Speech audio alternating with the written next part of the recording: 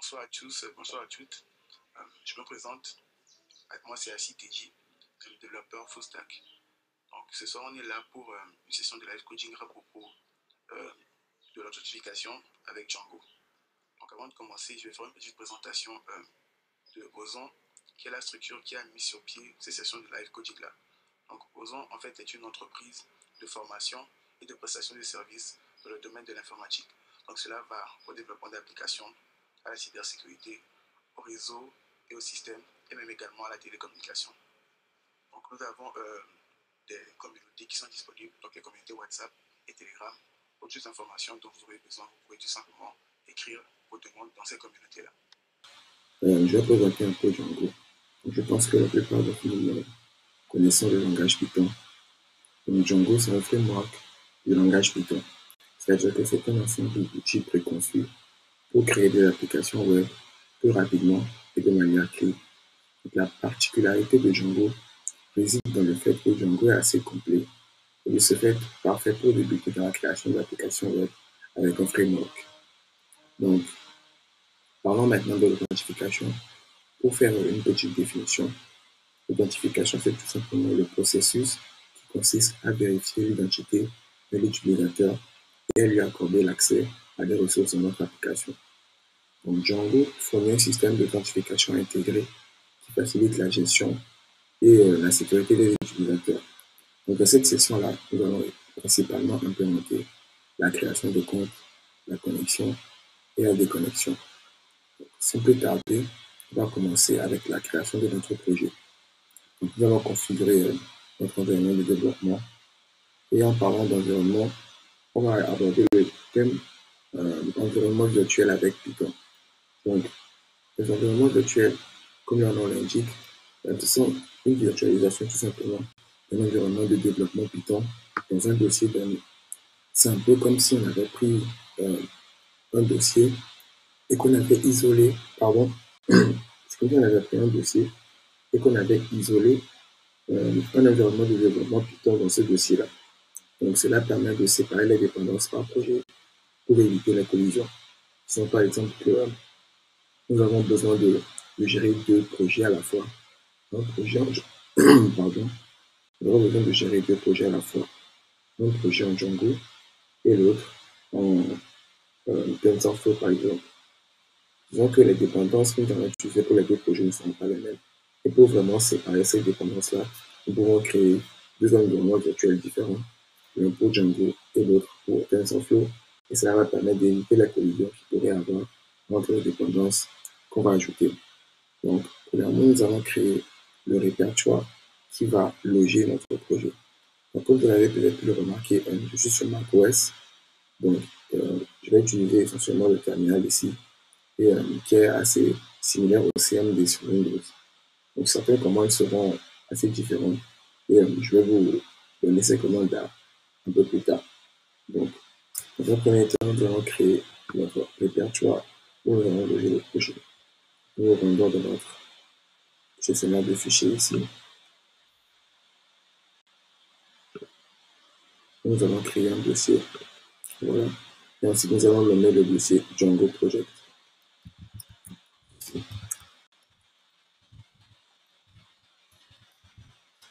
Voilà. Ensuite, une fois ce dossier créé, nous allons l'ouvrir dans notre terminal ou dans notre CMD pour ceux qui sont Windows.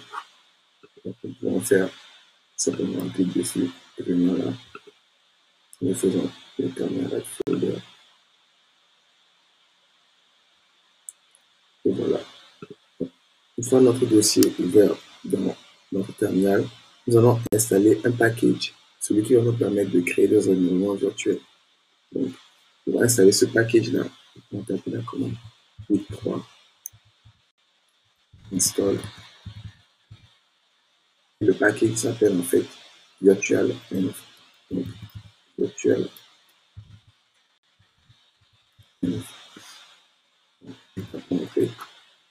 Et euh, après cela, cela va vous montrer en quelque sorte euh, que le téléchargement est en train d'être fait. Pour moi, eh bien, je l'ai déjà installé, ce qui veut dire que bah, voilà pourquoi j'ai cette, euh, cette, ce résultat-là. Donc pour vous, essentiellement, cela va vous montrer que le téléchargement est en cours Une fois qu'il est fini, vous aurez également votre choix. Donc, une fois notre pack est installé, nous allons créer l'environnement virtuel proprement dit. Et cela se fait avec la commande Python. Moi, j'ai installé Python 3. Mais pour ceux qui n'ont pas Python 3, vous aurez tout simplement besoin de taper Python tout court. Donc, Python, moins L, veine. Puis, vous aurez besoin de donner le nom que vous allez donner à l'environnement virtuel. Et dans notre cas, nous allons l'appeler Django Virtual.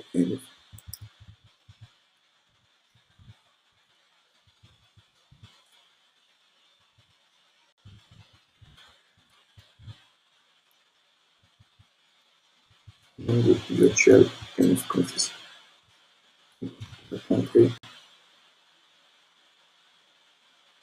donc, cela va créer un dossier qui va contenir tous les fichiers exécutables de Python dans un seul dossier. Donc, ce dossier-là, maintenant, va jouer le rôle, en quelque sorte, de nouveau environnement de développement Python. Donc, une fois que notre euh, environnement virtuel est créé, on va ouvrir le dossier dans VS Code. Donc, il nous suffira de prendre notre projet et de le glisser sur l'icône de VS Code.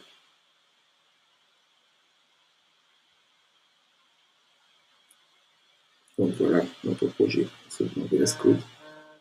Et euh, pour vous, vous pouvez utiliser n'importe quelle IDE tant que vous avez potentiellement un terminal intégré, puisque c'est le terminal intégré de VS Code que vous avez utilisé ici pour euh, euh, activer les commandes et ainsi de suite. Donc une fois notre dossier créé ici, vous pouvez voir que dans ce dossier-là, il y a différents exécutables, comme je vous l'avais dit, c'est exécutable Python.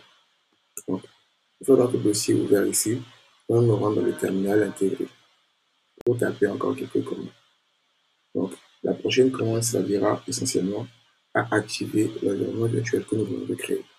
La raison, c'est que si nous n'activons pas l'environnement virtuel, eh bien, cela va continuer à utiliser la version Python que nous avons installée en global sur notre ordinateur. Si nous n'activons pas ça, c'est un peu comme si nous ne disons pas à notre ordinateur d'utiliser la version que nous voulons. Il nous faut forcément activer notre euh, environnement virtuel une fois l'avoir créé. Donc pour l'activer, il suffira tout simplement de taper la commande. Pour moi, sur Mac, ce sera source. Le nom de l'environnement virtuel, donc Django underscore virtual underscore end slash b slash activate. Donc il me semble que sur Windows, la commande c'est env slash script slash activate. Donc une fois que notre environnement virtuel est activé, nous pouvons maintenant commencer à taper nos commandes. Donc ici, en fait, nous voulons fraîchement d'installer Python dans notre dossier. En quelque sorte, du coup, nous n'avons pas encore Django pour commencer à travailler. Il nous faut donc installer Django avec la commande pip 3.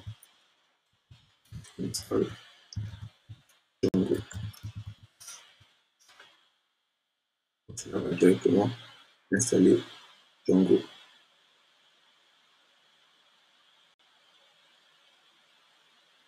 Comme vous le voyez, le téléchargement est en cours. Et une fois que cela sera fait, nous allons commencer maintenant à créer notre projet Django proprement dit. Donc, cela dépend évidemment de votre connexion Internet pour le téléchargement de Django.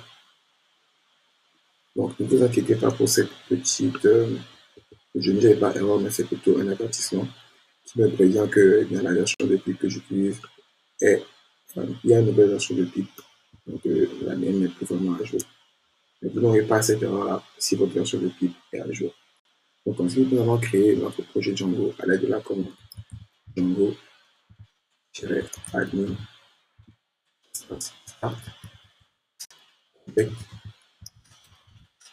et nous donnons le nom de notre projet. Ici, notre projet va s'appeler Live Coding. Donc ici. Et directement, nous pouvons avoir un nouveau dossier qui s'est créé dans notre répertoire.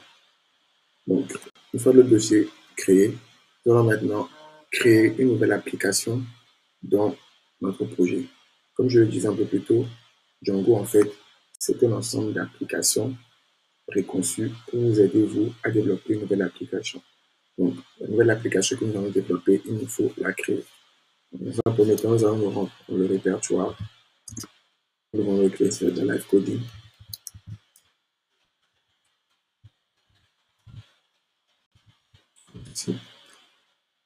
Et là, nous allons maintenant utiliser la commande Python 3 manage.py create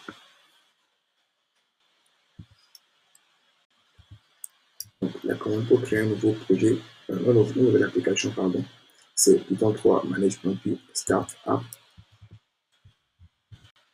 Live coding, qui est le nom de notre application que nous allons créer? App. Donc, avec cette commande, nous créerons une nouvelle application qui va s'appeler Live Coding App. Donc, vous pouvez vous rendre dans le répertoire ici. Comme vous le voyez, notre répertoire Live Coding App vient de se créer. Donc, une fois que nous venons de créer notre application comme ceci, nous devons aller notifier Django qu'il y a une nouvelle application qui vient d'être créée et qu'elle doit la prendre en compte. Cela se fait tout simplement en ajoutant une ligne dans le fichier urls.py qui se situe dans le répertoire live coding ici. Donc settings.py. Ensuite, nous nous rendons au niveau des installs app qui est en quelque sorte le répertoire de toutes les applications installées de notre projet Django. Donc là, il s'agira d'ajouter notre application qui est live, notre coding, notre score. Ensuite, nous pouvons sauvegarder. Donc, la prochaine étape consistera à créer le répertoire live coding app un fichier urls.py qui va contenir les différentes routes de notre application. Donc, nous rendons dans le répertoire ici et nous créons notre dossier, notre fichier, pardon, urls.py.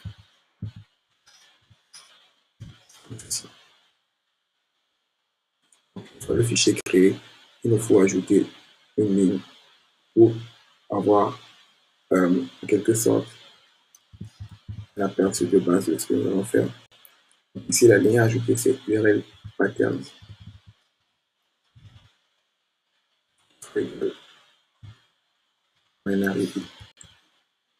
Donc cette URL pattern là, en fait, c'est tout simplement la variable qui va contenir nos différentes routes.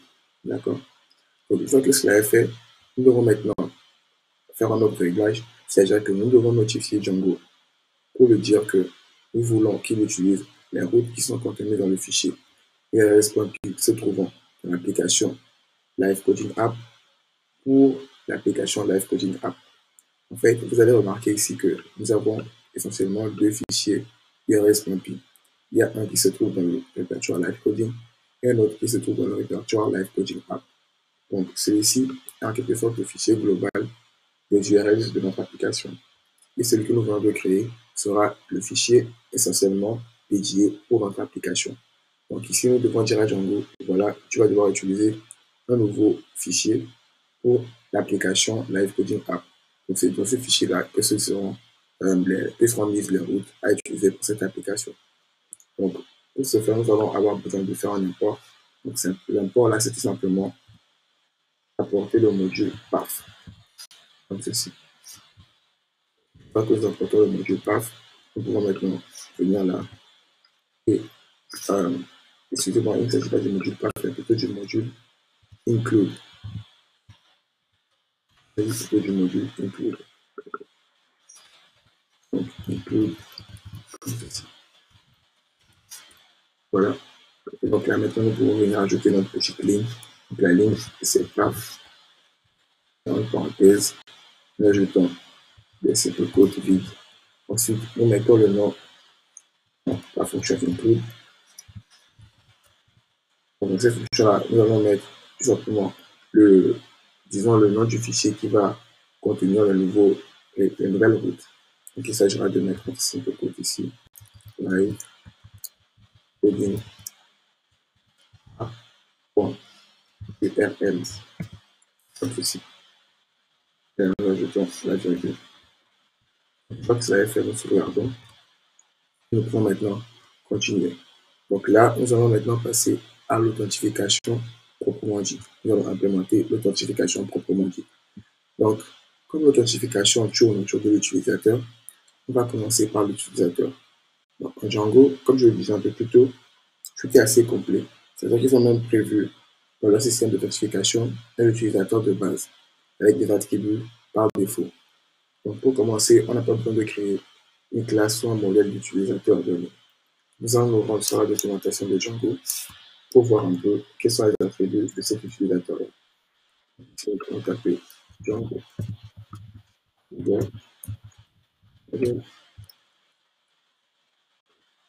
On peut remonter sur la documentation de Django pour voir un peu quels sont les attributs de l'utilisateur. Donc là, nous pouvons voir qu'il y a l'attribut username, donc qui est obligatoire.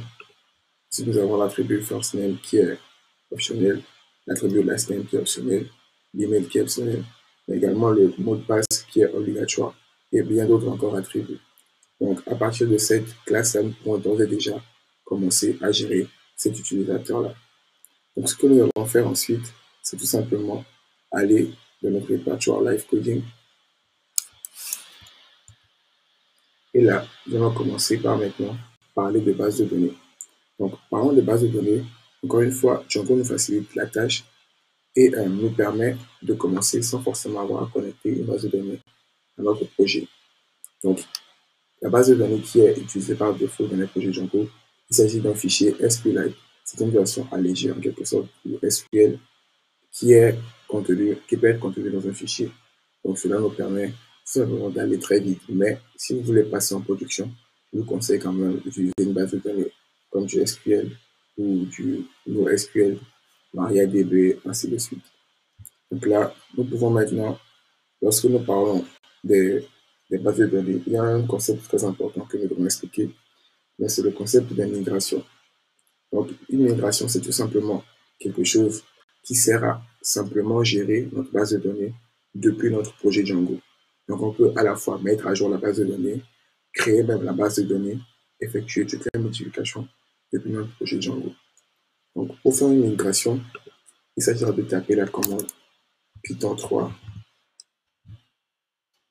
espace manage.py. Donc, la première commande sera de taper make migrations. pour faire une migration, en fait, ça se fait en deux commandes. La première commande va venir prendre en quelque sorte toutes les modifications qui ont été apportées à notre projet Django et vont même nous situer s'il y a des erreurs, elles vont sortir ces erreurs-là. Et ensuite, la deuxième commande va se charger d'appliquer les modifications à la base de données. Donc, on tape entrée. Et là, vous voyez, pardon, vous voyez qu'elle nous sort directement les erreurs qui sont présentes dans notre projet. Donc là, nous voyons que nous avons fait une petite erreur de table. Donc, il s'agira d'aller dans le fichier URS qui se situe ici, voilà. Et nous avons tout simplement mal écrit URLs. Donc voilà. Quand que nous sauvegardons, nous pouvons recommencer avec la commande make migration pour checker s'il y a encore des erreurs. Donc voilà, une fois que nous voyons le change detected, allons directement voir une base de données qui s'est créée ici. Donc c'est du DB SQLite. Donc ce fichier-là est vide pour le moment parce que nous n'avons pas encore créé la base de données. Donc pour maintenant appliquer tous les changements que nous allons faire, il suffira de taper la commande Python 3. Donc Python 3 manage.py migrate. Donc là, on voit toutes les modifications qui sont en train d'être appliquées. Et nous pouvons même voir que le fichier dbsqlite vient d'être modifié. Donc là, il va contenir toutes les tables dont nous allons avoir besoin. Donc voilà, toutes les tables dont Django a besoin pour gérer ces applications. Donc par défaut, il me semble que vous ne pourrez pas euh, directement afficher les, fichiers DB, euh, SQLite 3 pardon, dans VS Code, et bien j'utilise simplement une extension pour pouvoir afficher ces fichiers-là. Donc, nous allons maintenant continuer avec le fichier urs.py. Nous allons donc créer toutes nos routes pour notre projet. Donc, essentiellement, nous allons avoir quatre routes dans notre projet. La route de login, c'est-à-dire pour la connexion. La route de logout pour la déconnexion.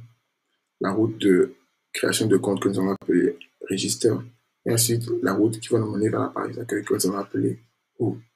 Donc, pour les deux premières routes, nous allons utiliser les fonctions prédéfinies dans l'application d'authentification par défaut de Django, ce qui implique que nous allons devoir faire quelques imports. Donc, retournons dans le fichier, verrez ce que nous voulons de créer, et là, nous allons faire quelques imports. Donc, le premier import que nous allons faire, c'est d'importer le module path. Donc, depuis Django, URL import. Ensuite, nous avons également besoin des fonctions, comme je l'ai dit, provenant de l'application par authentification de Django. Donc, from Django.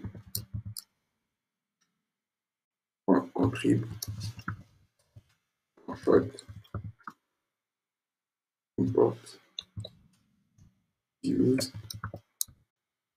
Nous allons lui donner un alias, donc as hot underscore use, comme ceci. Ensuite, nous allons importer un module views depuis notre application à nous-mêmes, c'est-à-dire le Live Coding App. From Live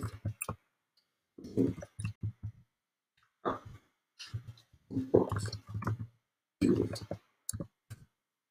Comme ceci. Une fois que nous avons fait nos imports, nous pouvons d'ores et déjà commencer à créer nos routes. Pour créer nos routes, il suffira d'utiliser la fonction path que nous avons importée. Cette fonction la prend en paramètre essentiellement. Premièrement, nous allons dire la route en elle-même. Ensuite, la fonction qui va se charger de gérer la route. Et en troisième position, qui est optionnelle, hein, nous allons mettre tout simplement un nom à cette route-là qui va nous permettre de pouvoir la générer un peu plus facilement par l'après. Donc, nous allons commencer par la route home. Donc, nous allons mettre comme ceci, home slash. Ensuite, nous allons mettre la fonction qui va la gérer, la fonction que nous allons créer par la suite. Use.home. Ensuite, on va lui donner un nom ici. nous allons l'appeler home également. Donc, une fois que la première route est créée, nous allons créer ensuite la deuxième route qui sera la route de login. Donc, également. Ensuite, mettons ici nous utilisons donc là, ici, la fonction qui a été euh, définie dans le dans la dans l'application d'authentification par défaut de Django. Donc, nous utilisons cette fonction-là de cette manière-là. Hot underscore use point login view, donc la fonction de connexion as underscore view. Là, un peu comment utiliser cette fonction-là. Ensuite, nous devons lui attribuer un nom. Donc, on va l'appeler également login. Pour la route de login. Ensuite, nous passons à la route de logout. Logout. Nous allons également utiliser une fonction prédéfinie de Django. Donc, ici logout views. Non, as views. Super nombre logout.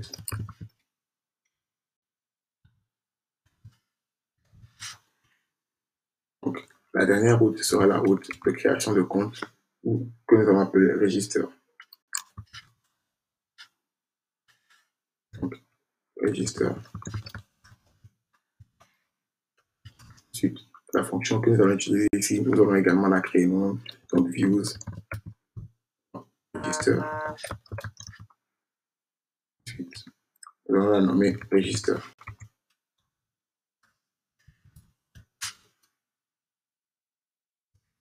Voilà un peu nos routes créées de base, nos routes de base que nous avons créées.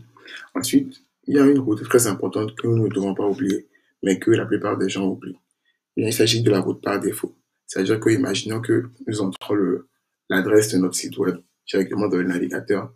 Eh bien, dès que nous tombons sur notre adresse, eh bien, cela va utiliser la route par défaut. Mais ici, nous n'avons pas forcément pensé à gérer la route par défaut. Donc, pour gérer la route par défaut, cela se fait comme suit. Il s'agira tout simplement d'utiliser la fonction path également.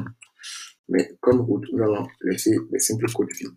Ce qui veut dire que lorsque nous rentrons directement sur notre site, nous n'avons pas besoin de rentrer dans la barre de recherche de, de, disons, de modèle de route. Donc, nous allons utiliser également la fonction views.home pour dire que la route de base bien, sera la route qui va mener vers la, fonction home. Donc, comme ceci. Nous allons également la nommer home. Voilà. Route de base créée, notre route par défaut créée. Une fois que nous avons bien créé une route, nous pouvons maintenant passer à la configuration la plus importante de notre notification. Eh bien, il s'agira juste d'ajouter quelques lignes à notre fichier settings.py. Donc, ce fichier settings.py là, qui contient tous les réglages de notre application et de notre projet même en général. Donc, les lignes qu'il faudra ajouter vont tout simplement servir à un peu diriger euh, euh l'application par authentification de Django. C'est-à-dire que l'application de base d'authentification de Django a besoin d'utiliser des routes que nous avons nous-mêmes créées. Donc, nous devons le dire, voilà, pour cette route-là, bien pour cette fonction-là, tu dois te charger, utiliser cette route-là, ainsi de suite, ainsi de suite. Pour ce faire, nous commençons par donner la variable login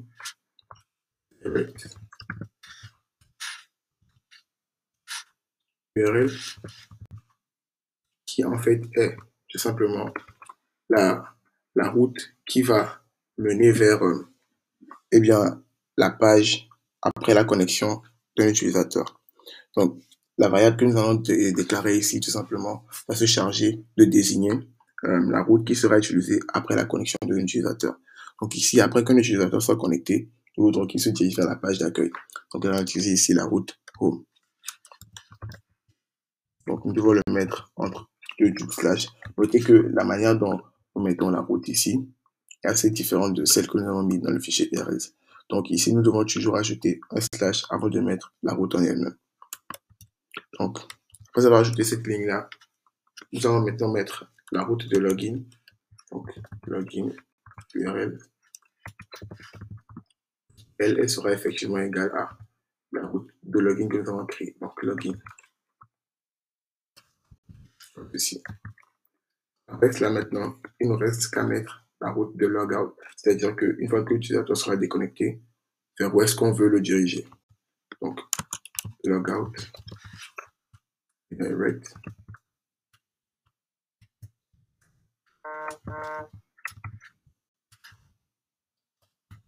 Direct underscore URL.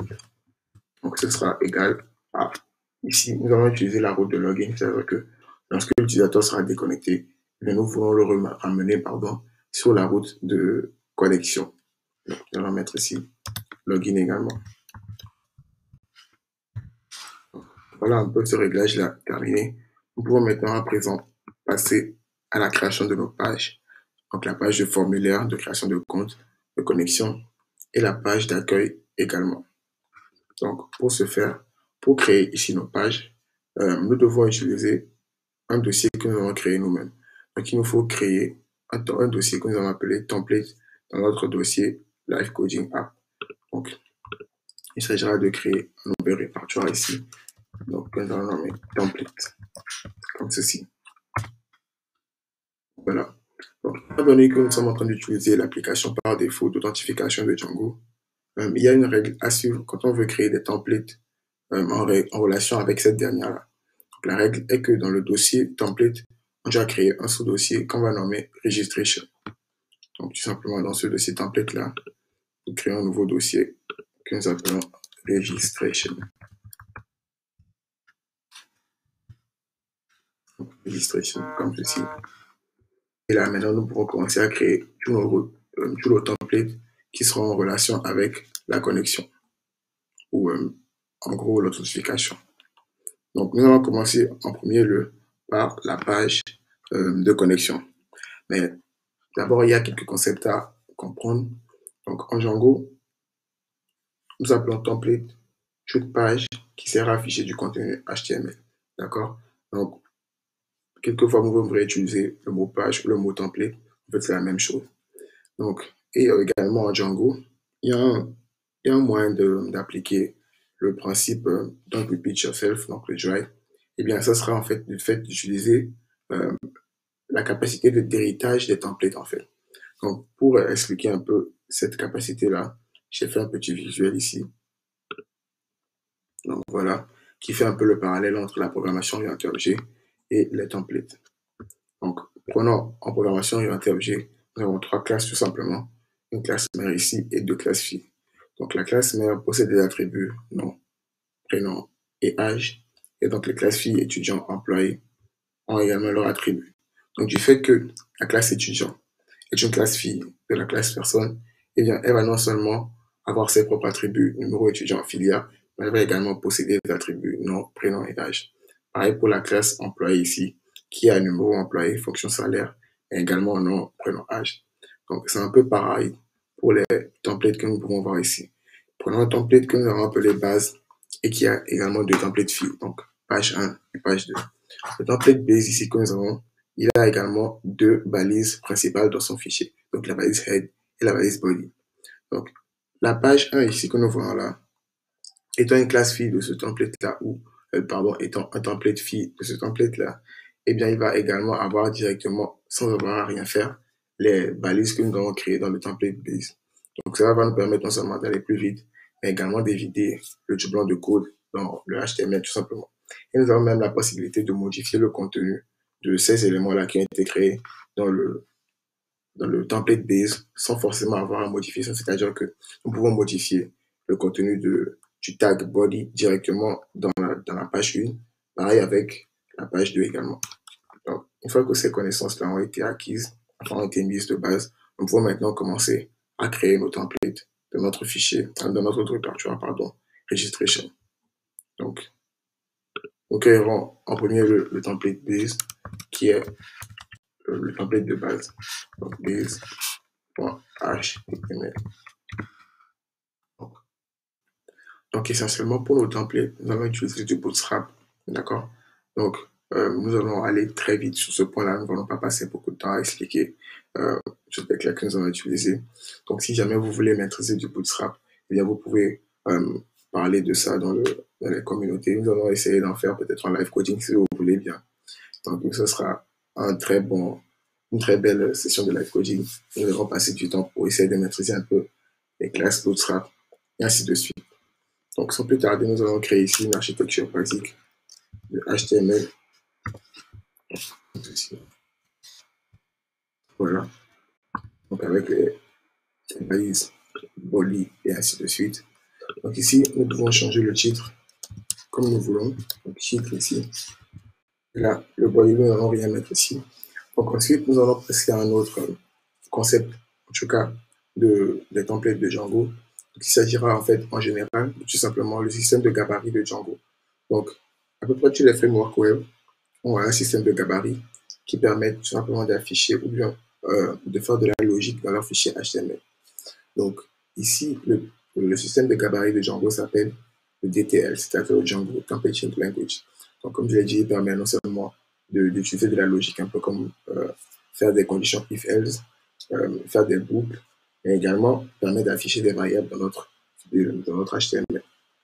Donc ici, la première euh, utilité que nous allons avoir, c'est d'utiliser une fonction prédéfinie qui nous permet en quelque sorte de, de donner des noms de variables à certaines parties de, de, de, notre fichier HTML. Disons par exemple que nous voulons en sorte que dans un fichier fille de, de ce template-là, nous allons pouvoir juste modifier la partie titre. Donc là, il s'agira tout simplement de créer ce qu'on appelle un bloc.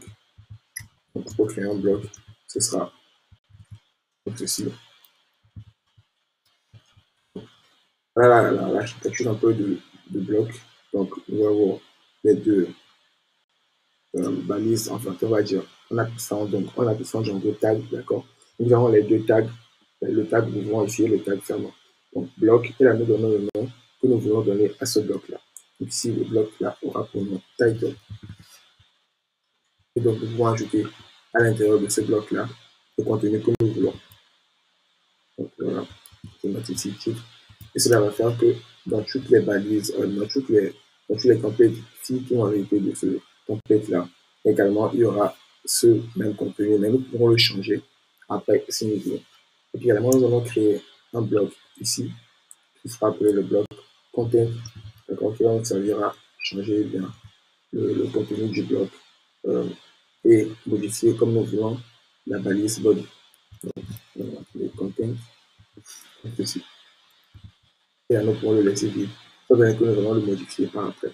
Donc, comme je l'ai dit, nous allons utiliser essentiellement euh, du Bootstrap nous allons utiliser le lien CDN de Bootstrap. Donc ici, nous allons ajouter euh, tout simplement le lien CDN qui sera chargé Bootstrap. Voilà un peu. Allons passer à la création de notre page. Nous allons commencer ici par la page d'inscription que nous allons appeler register.html. Donc, un nouveau fichier register.html. Ici, je faire ce fichier-là, en fait, pour que ce fichier soit considéré comme une classe fille du template base, il s'agira tout simplement d'ajouter ici le tag extend. Donc, on va ajouter le tag extend, donc ici.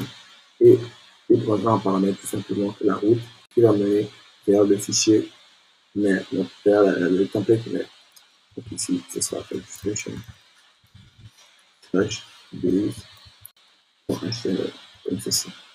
Une fois que nous avons fait ça, ça va dire que le fichier register.html sera considéré comme une classe ou un template pardon, de, du template base. Donc il y a un autre, euh, un autre, une autre petite astuce, je vais dire, qui peut vous être très utile quand vous utilisez euh, tout simplement une extension de reformatage. Donc est-ce que vous pouvez avoir quelques erreurs banales ou bêtes, on va dire, par rapport au, au rendering des templates qui, à cause du reformatage, peut causer des erreurs.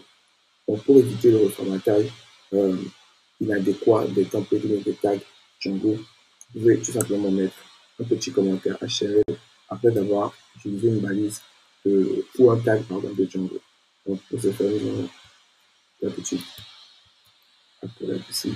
Et nous ici côté. Ça va tout simplement permettre à notre formateur de ne pas mal formater notre fichier euh, Django, euh, notre fichier template, pardon, pour que cela ne génère pas d'erreurs bizarres après.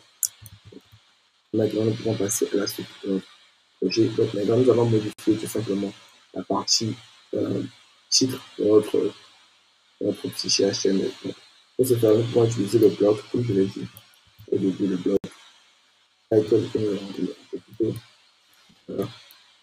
Et là, maintenant, nous allons modifier. Donc, on appelle ici inscription. Ceci. Pour modifier le bloc body, même le bloc content, pardon, ça va de faire pareil. Donc, hop. Content. Après, vous voyez un peu comment ça va formater le, le, le tag. Bien, cela va potentiellement par la suite générer une. On peut se faire une comme je l'ai dit, protéger, pardon, pour protéger le, le tag comme ceci. Voilà. On travaille avec ce tag-là.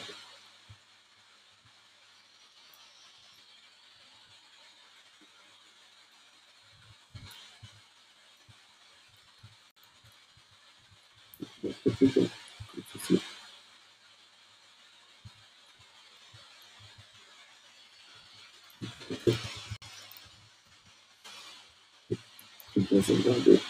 Voilà. Que ça, cela, c'est corrigé. Nous pouvons faire, mais je pense que ce soit un peu plus beau on va faire comme ceci.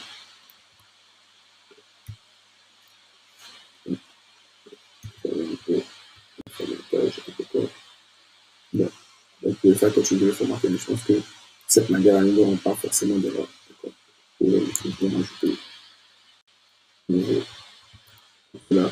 Ça soit plus beau. Là, un peu notre, notre bloc content que nous allons mettre ici. Et là, nous allons tout simplement styliser notre page euh, de création de, de, de. Donc, un petit layout que j'ai préparé ici. Donc, ce layout sera essentiellement composé d'une carte, d'accord, avec comme margin 5, d'accord, comme valeur de margin 5. Ensuite, un margin euh, X auto, c'est-à-dire le margin sur la ligne euh, verticale, donc qui sera égal à auto, et un margin bottom de valeur 2. Et là, il y aura un petit H1 ici qui sera inscription. Et là, nous allons avoir le body de la carte même.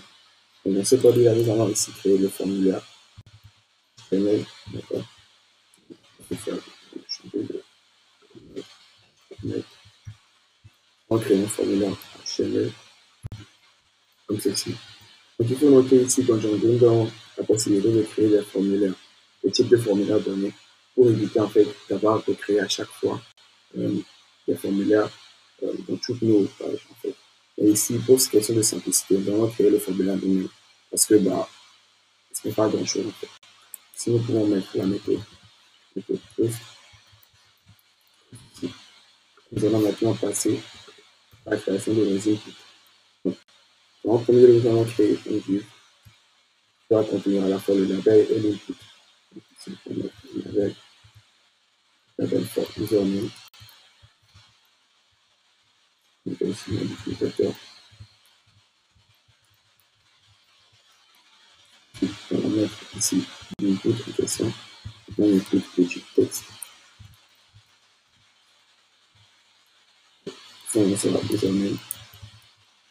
La vie également username. Et le plus important, c'est qu'il sera record comme ça. Pour que notre input soit um, stylisé de la manière bootstrap, il faudra d'ajouter une classe. La classe, c'est maintenant le forme contrôle. Je vais maintenant passer la vie pour le mot de passe. Ici, ici va contenir le label également. Bon.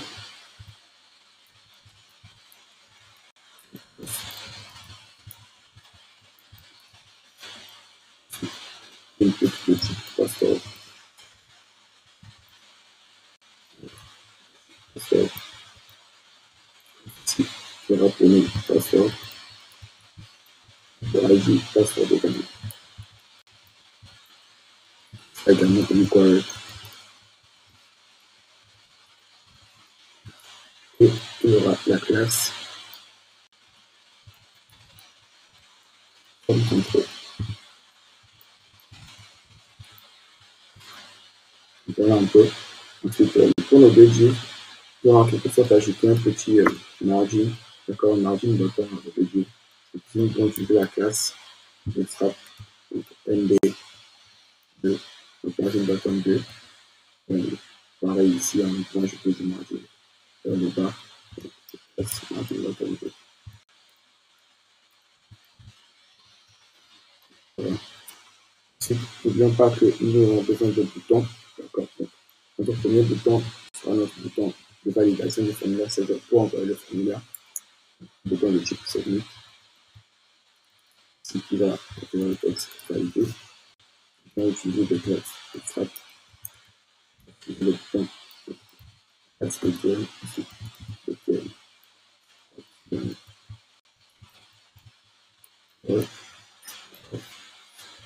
Donc ensuite, après ce bouton-là, nous allons avoir besoin d'un autre bouton qui va nous permettre d'aller, si jamais on a déjà un compte, qui va nous permettre d'aller vers la page de connexion. Donc là, il s'agit en fait d'un lien. Donc, un lien ici.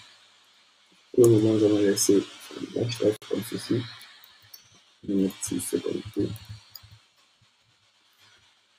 Là, ici mettre la classe. Je vais donner également BPM, BPM, Outline. Un peu. Ensuite, euh, s'agit euh, lorsqu'il s'agit pardon de, de différents liens que nous devons ajouter ici, par exemple l'action, nous allons utiliser encore une fois un tag, en fait une fonction de, de Django qui va permettre de générer les URL avec le nom des URL avons mis dans le fichier URL.p. La fonction, c'est tout simplement une fonction qu'on va appeler URL, d'accord Thérèse. Elle se présente comme suit. Donc, Thérèse, c'est simple code nous allons mettre ici le nom que nous allons donner à notre euh, route dans le fichier IAS.p. Donc, ici, comme nous allons de le mettre ici, la fonction qui va se charger de gérer, en tout cas, s'il s'agit de, lorsqu'il s'agit de, de l'instruction, il s'agira de la fonction existeur. Donc, ici, nous avons simplement besoin de mettre register. ici, voilà. Et euh, ici, lorsqu'il s'agira des routes de connexion, et nous devons tout simplement mettre la route euh, de connexion, donc la route URL, route, comme ceci, login. Donc, voilà un peu pour la page de connexion qui vient d'être créée. C'est vraiment parti à la page de connexion en elle-même. Donc, étant donné que ces deux pages-là sont similaires, on va prendre on va faire du copier-coller. On va aussi une page de connexion que nous allons appeler login.html.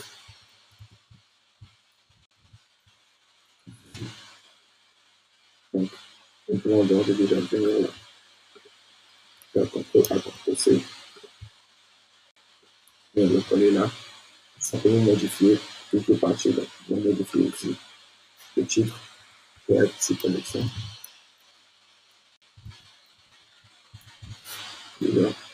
Nous pouvons également modifier cette partie-là.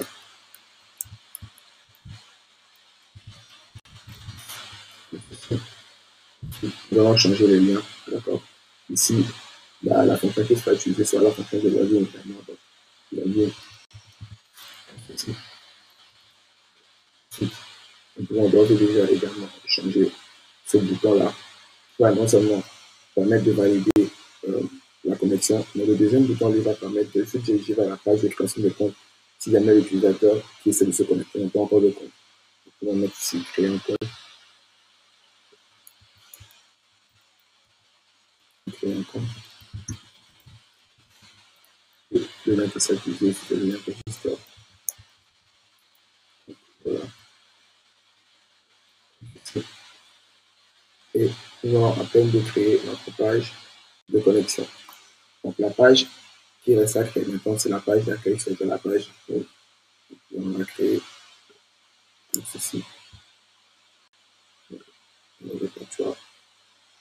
Données. Voilà.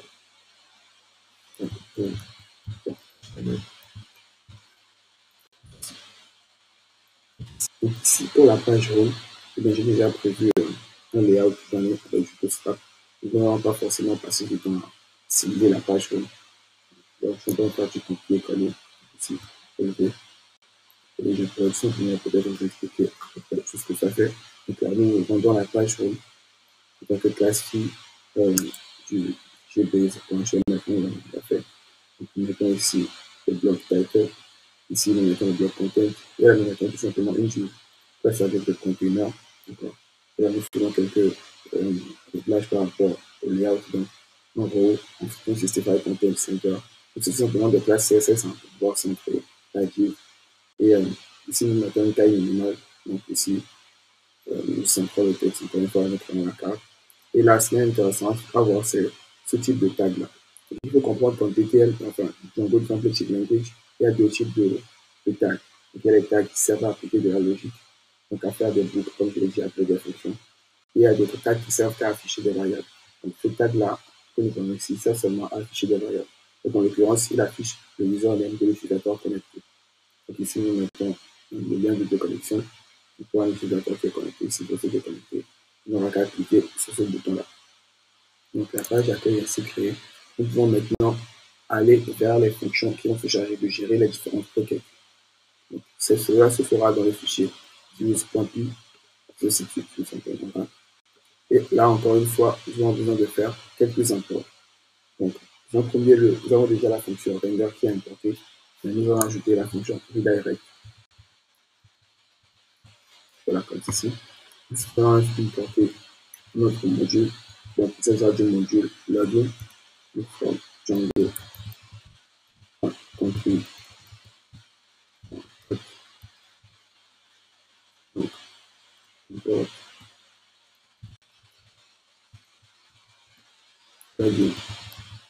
Compris cette fonction-là en fait, va servir à tout simplement connecter un utilisateur que nous allons récupérer. La prochaine euh, fonction que nous allons apporter, le prochain décorateur, qui à un décorateur, ce sera donc from Django.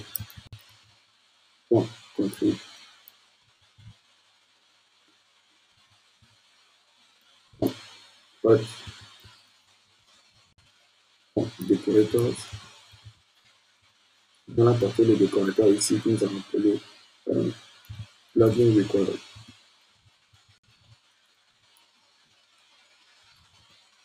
Voilà. En fait, ce décorateur-là, c'est tout simplement un terme pour désigner une fonction, d'accord, qui peut être appliqué euh, sur des fonctions données. Donc, nous allons le voir un peu plus suite alors quand nous allons créer la fonction. il faut comprendre que simplement, ce décorateur-là va se charger de vérifier si l'utilisateur qui envoie des requêtes vers cette fonction donnée-là est connecté ou pas. La dernière, le dernier module, pardon, ou euh, le dernier module que vous allez importer, il s'agira d'importer l'utilisateur de base de Django.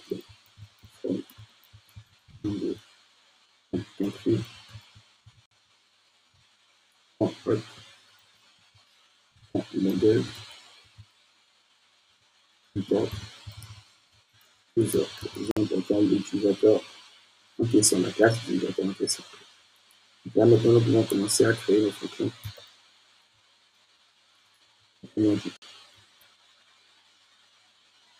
Donc là, pour créer nos fonctions proprement dit,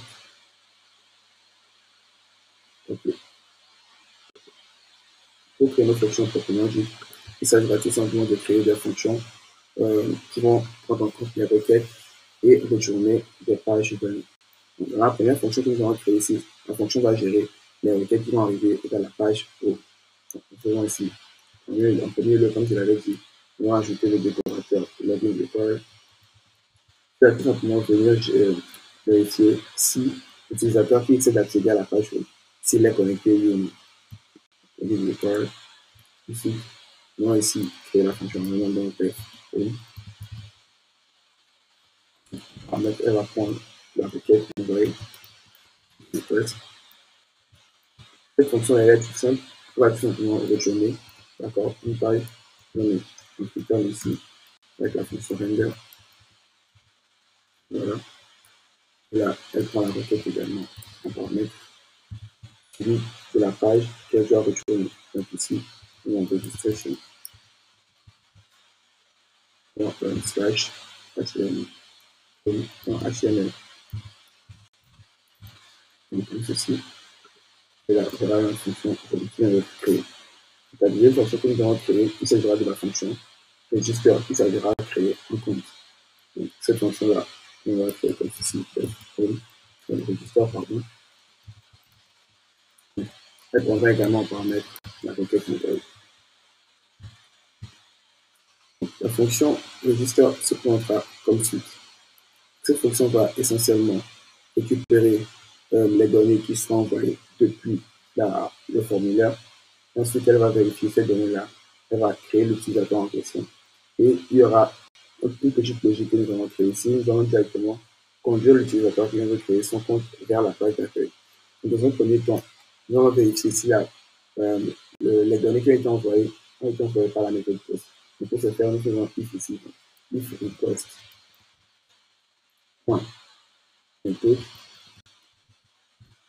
est égal à simplement post ici. Donc si cela est le cas, mettre une logique ici. Nous allons récupérer ici le username et le password. Mettons une variable que nous username égal à simplement request. Donc le request en fait c'est un objet d'accord qui contient toutes les données envoyées depuis votre formulaire. Request, paramétre post, get, et nous mettons le lien que avons mis dans le formulaire. ici, ce sera username. Faisons pareil avec le password. Password est égal à request. Post. Get. Là, on peut mettre le password. Une fois que nous avons récupéré ici les données, nous allons maintenant venir créer l'utilisateur en lui-même dans la base de données. Donc pour créer l'utilisateur, nous allons utiliser l'objet que nous allons importer ici. Nous allons instancier l'objet et l'ajouter à la base de données. Donc, l'utilisateur user sera égal à user. Objects. D'accord. Il y a une fonction pour créer un utilisateur, donc c'est la fonction create user. On prend un paramètre potentiellement le mot de passe et le password, le mot de passe et le nom d'utilisateur? C'est les deux euh, principaux paramètres qu'ils apprennent, les deux principaux paramètres nécessaires pour euh, créer un utilisateur. Et pour prendre beaucoup de paramètres, comme nous voyons, de prendre l'email, ainsi de suite, ces paramètres-là sont optionnels. Les deux paramètres obligatoires sont le username et le password. Donc, c'est username. C'est la username. Le password. Et la password. L'utilisateur créé. Va maintenant charger de nous charger, va maintenant charger de le connecter comme je l'avais dit. Donc, on va utiliser la fonction login ici. Après, on va mettre l'utilisateur que nous venons de créer, l'utilisateur qui cherche à être connecté. Et également la requête. D'accord, donc premier temps. Également l'utilisateur, le user. Une fois qu'il est connecté, nous devons le rediriger vers la page d'accueil que nous avons dit au début. Donc, en utilisant la fonction redirect, cette fonction-là, elle prend en paramètre simplement le nom de la route vers laquelle nous voulons rediriger euh, l'utilisateur. Donc ici, la route. Une fois que cela est fait, nous allons simplement de créer notre utilisateur et nous le redirigeons vers la page d'accueil.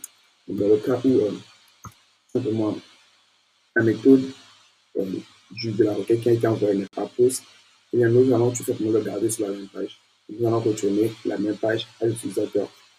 Ce sera en faisant return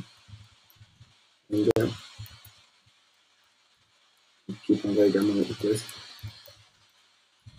Et à la page qui devra rejoindre, c'est la page de, de connexion, euh, la création de compte, pardon, qui sera registration. Page. Bon, Donc voilà. Nous voulons ainsi de créer euh, la fonction qui va gérer la connexion. Et en quelque sorte, nous avons fini notre authentification du moins ce qui nous restera tout simplement à activer le serveur par défaut, euh, le serveur intégré de Django et à tester pour voir s'il y a des erreurs. Donc, pour activer le, euh, le serveur par défaut de Django, il s'agira de taper la commande Python 3 manage company run server comme ceci. Et là, dès que vous activez le serveur, bien le serveur va nous donner une adresse que nous pouvons rentrer dans notre euh, navigateur, d'accord, pour pouvoir accéder à notre serveur, notre projet. Copions cela nous rentrons dans notre cette route-là. Voilà. Donc là, voilà, nous avons accès à notre page de connexion ici, directement. Et comme nous n'avons pas encore créé de compte, d'accord, il nous faut créer un compte. Donc nous venons essayer, nous tapons créer un compte. Et là, nous allons prendre notre identifiant, donc on va appeler ici notre utilisateur live. Live coding. C'est un mot de passe, nous allons mettre. Et nous allons cliquer sur le bouton valider. Une fois que cela est fait, nous allons nous avons une erreur. Et bien cette erreur-là, elle est très importante. Il s'agira tout simplement d'ajouter un truc qui est très important dans le, le, mécanisme Django ou tout simplement dans tous les frameworks web. Donc, il s'agira d'ajouter ce qu'on appelle le CSRF token. Une petite explication sur ce qu'est le CSRF token. Le CSRF token, c'est tout simplement un ticket qui est généré de manière aléatoire pour sécuriser les formulaires qui sont envoyés depuis notre page ou depuis notre application. Donc, elle protège notre application contre les attaques CSRF. En gros, c'est quoi une attaque CSRF Le CSRF, ça veut dire, premièrement, Cross-Site Request Forgery, qui est en fait un type d'attaque où euh, un hacker, par exemple, peut reproduire un de nos formulaires qui va pointer également vers notre serveur. Donc, si par MyGuard, un utilisateur connecté arrive sur ce formulaire malicieux-là et qu'il lance ces informations et qu'il active, euh, simplement qu'il valide le formulaire que ça va vers notre serveur, eh l'utilisateur euh, va en quelque sorte laisser la porte au hacker d'accéder à notre serveur. Donc, dans ce formulaire, il pourra injecter des scripts malicieux qui vont faire à notre serveur causer des dégâts il pourra avoir accès à certaines informations. Donc, pour éviter ce genre d'erreur-là, il faut à chaque fois que nous créons des formulaires ici, ajouter avec l'aide d'un tag et bien, un, un ticket CSRF. Donc, cela se fait avec la fonction, tout simplement, CSRF, OK, comme ceci. Underscore, OK.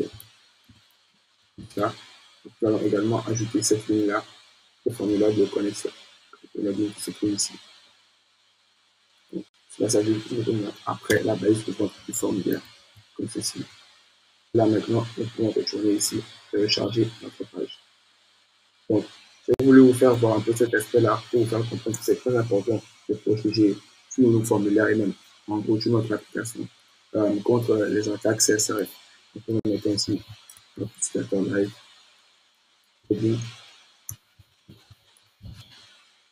Je passe.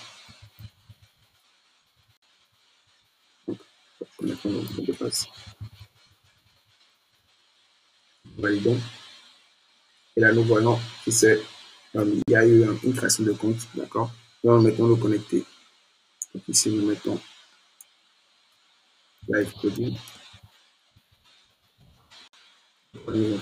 Passe.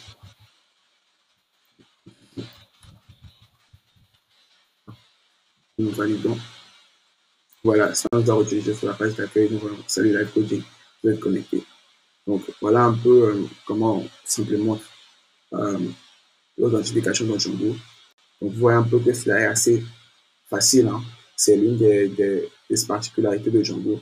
Qu'il y a déjà plein de choses qui sont faites par défaut. Vous n'aurez besoin que de modifier cela ou même de prendre ça tel quel et appliquer ça à ce que vous voulez faire comme projet. Donc, euh, voici ainsi terminé notre, session de live coding. Euh, si vous avez quelques questions ou quelques euh, approfondissements que vous voulez développer, eh bien, nous sommes présents dans le, les communautés. Vous pouvez très bien vos questions là. Merci.